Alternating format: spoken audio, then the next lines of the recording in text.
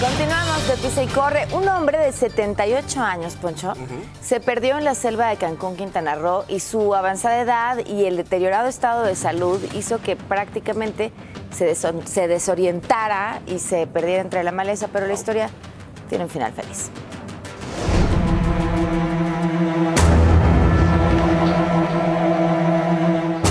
Don José Chi Ruiz, de 78 años de edad, salió a cortar leña como todos los días para que su esposa cocinara. Pero debido a las altas temperaturas se desorientó y permaneció extraviado por 48 horas en la sofocante selva de Cancún, Quintana Roo. Fue su esposa quien alertó a las autoridades al notar que don José no regresaba, por lo que se dio inicio con la búsqueda.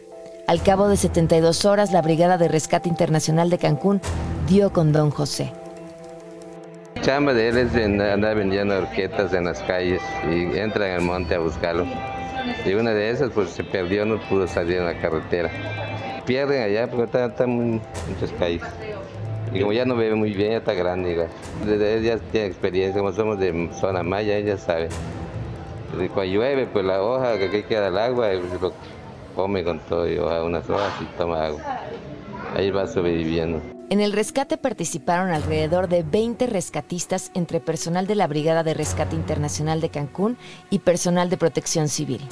La edad avanzada, deshidratación y padecimientos como diabetes e hipertensión fueron lo que probablemente provocaron que don José se desorientara y extraviara en la zona donde habitualmente recolecta leña y madera.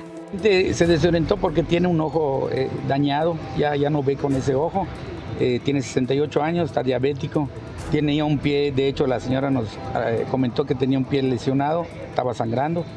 Y quiero entender que a la hora de que cortó las horquetas, eh, disvarió tantito y en vez de salir, como es una brecha extensa, larga, en vez de salir, se, adentró.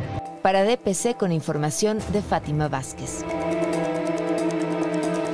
Qué bueno que apareció don José. Qué angustia, 48 horas estuvo desaparecido ahí caminando en la selva don José. Qué bueno que se encuentra bien. Así es.